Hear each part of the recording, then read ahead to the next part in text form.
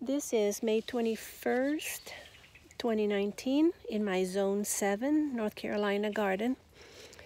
And an update on the blueberries. I had been watching the three different varieties that I have to see which I want to get more of and propagate.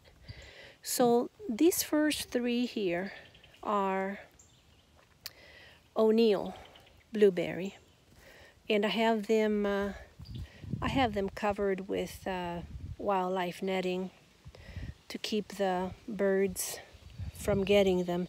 Now um, it likes to it likes to also snag snakes. So every uh, end of the day I come and I do an inspection. I check everywhere to be sure uh, because um, any anytime that I can get them, I can release them and help them along.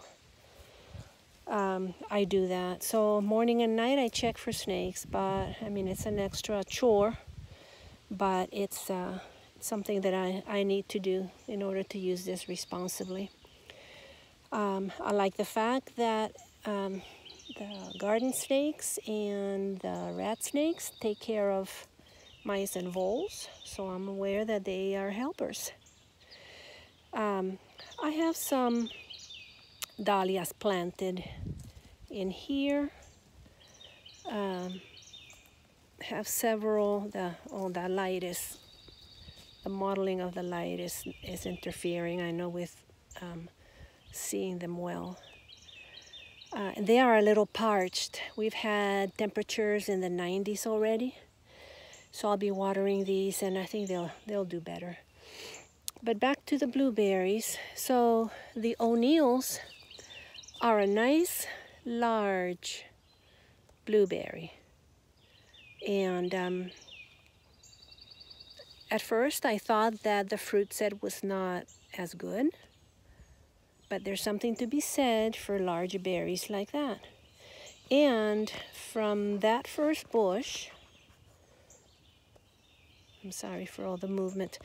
And that first bush produced this as a first picking. And I have um, nine shrubs in here. So I'm very happy about that. Anyway, um, one, two, three O'Neals. And here are the uh, Sunshine Blue which I thought were my favorite because they had such a heavy uh, heavy fruit set and they flowered early and the bees just went crazy for them because they were the first ones out.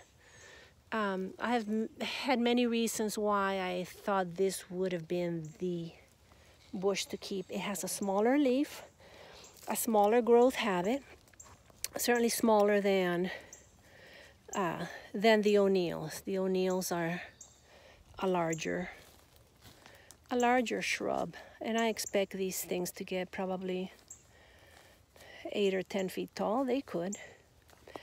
Um, it helps that I have them in wood chips. Uh, the wood chips help to keep the pH low. They prefer uh, pH lower than uh, than the seven than the uh, seven pH that I have in the rest of of the property here. So the planting hole included peat and uh, compost and then they're planted in this which um, you know makes new it makes new soil as I top it up and always keep it uh, going with a fresh layer of wood chips on top. Uh, this also is a sunshine blue and this is my third sunshine blue. So I do love them. I do love the sunshine blue, but I don't think first picking is gonna look like this on these. Yeah, maybe so. Just only the, the smaller berries, I think, is what I'm evaluating here. This other third variety is Jubilee. And Jubilee has the larger leaf like the first O'Neal, but then smaller berries. Kind of a combination of those two things. Um, it's a pretty shrub. Now these three end up in the shade of